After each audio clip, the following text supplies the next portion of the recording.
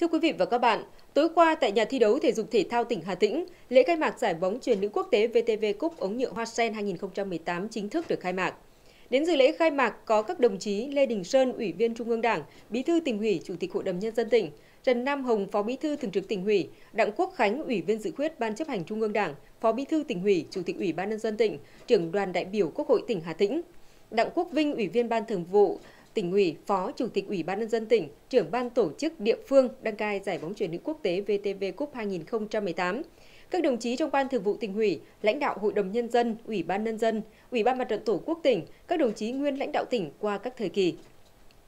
Về phía Trung ương có ông Trần Đức Phấn, Phó Tổng cục trưởng Tổng cục Thể dục Thể thao, ông Lê Văn Thành, Chủ tịch Liên đoàn bóng chuyền Việt Nam, ông Nguyễn Thành Lương, Phó Tổng giám đốc Đài truyền hình Việt Nam, nhà báo Phan Ngọc Tiến, trưởng ban sản xuất các chương trình thể thao, trưởng ban tổ chức giải bóng chuyền nữ quốc tế VTV Cup ống nhựa Hoa Sen 2018. Ông Vũ Văn Thanh, Phó Tổng Giám đốc Tập đoàn Hoa Sen cùng hàng ngàn người hâm mộ Hà Tĩnh đã chứng kiến lễ khai mạc.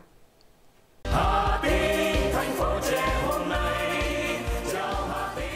Ca khúc Chào Hà Tĩnh, thành phố tương lai do các nghệ sĩ nhà hát nghệ thuật truyền thống Hà Tĩnh mở màn buổi lễ khai mạc VTV Cup ống nhựa Hoa Sen lần thứ 15 2018.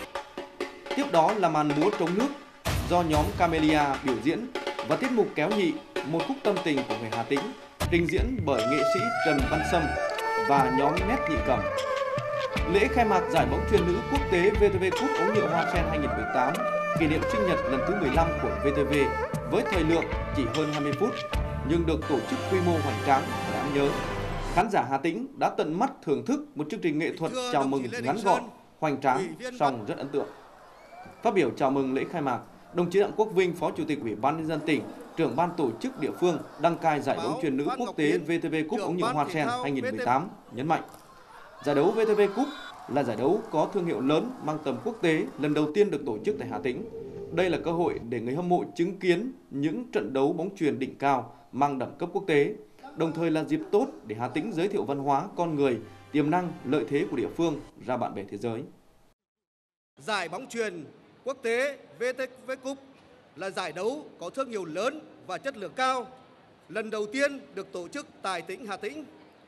Đây là cơ hội để người hâm mộ thể thao được thưởng thức những trận đấu đẳng cấp quốc tế, đồng thời là dịp tốt để giới thiệu về văn hóa, con người, tiềm năng, lợi thế của tỉnh Hà Tĩnh nhằm thúc đẩy phát triển kinh tế xã hội, đáp ứng ngày càng cao nhu cầu đời sống vật chất, tinh thần của nhân dân. Thay mặt lãnh đạo tỉnh, tôi nhiệt liệt chào mừng các đội bóng truyền nữ đến từ nhiều quốc gia trên thế giới.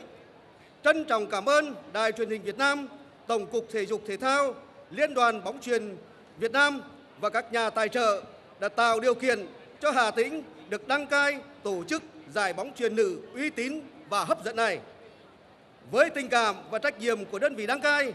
tỉnh Hà Tĩnh sẽ nỗ lực phối hợp với ban tổ chức đảm bảo các điều kiện cao nhất để đưa giải đến kết quả tốt nhất. Xin kính chúc các quý vị đại biểu, quý vị khách quý, các huấn luyện viên, tổ trọng tài, các cầu thủ và toàn thể quý khán giả lời chúc sức khỏe, hạnh phúc. Chúc giải bóng truyền nữ quốc tế VTV Cup ống nhựa Tôn Hoa Sen năm 2018 thành công tốt đẹp. Xin trân trọng cảm ơn. Lớn. Tại lễ khai mạc, đồng chí Nguyễn Thành Lương, Phó Tổng Giám đốc Đài truyền hình Việt Nam bày tỏ lòng cảm ơn tới nhà tài trợ Tập đoàn Hoa Sen đã đồng hành cùng với giải. Tỉnh Hà Tĩnh đã làm tốt công tác chuẩn bị và tuyên truyền rộng giải đấu VTV Cup ống nhựa Hoa Sen 2018 đến với đông đảo bà con nhân dân để mỗi trận đấu luôn có đông khán giả đến xem, cổ vũ nhiệt tình cho giải đấu. Thay mặt Đài truyền hình Việt Nam, ông Nguyễn Thành Lương, Phó Tổng Giám đốc Đài truyền hình Việt Nam đã trao kỷ niệm trương cho đại diện của đơn vị chủ nhà đăng cai giải đấu VTV Cup ống nhựa Hoa Sen 2018 và trao kỷ niệm trương cho đại diện tập đoàn Hoa Sen đã tài trợ cho giải. VTV Cup ống nhựa Hoa Sen 2018 có sự tham dự của 8 đội bóng, trong đó có 6 đội bóng quốc tế và 2 đội bóng chủ nhà Việt Nam. Các đội bóng được chia thành hai bảng đấu, bảng A gồm câu lạc bộ Antey Kazakhstan, Đại học Hokkaido Nhật Bản, đội tuyển Việt Nam và câu lạc bộ Vân Nam Trung Quốc. Bảng B gồm đội tuyển trẻ Việt Nam, câu lạc bộ Tứ Xuyên Trung Quốc, đội Cộng hòa Dân chủ Nhân dân Triều Tiên, Đại học Đài Bắc Trung Hoa. Ngay sau lễ khai mạc, VTV Cup ống nhựa Hoa Sen 2018 là trận đấu giữa đội tuyển bóng truyền nữ Việt Nam và đội Vân Nam Trung Quốc. Trận đấu diễn ra trong sự cổ vũ cuồng nhiệt của hàng ngàn khán giả hâm mộ bóng truyền Hà Tĩnh.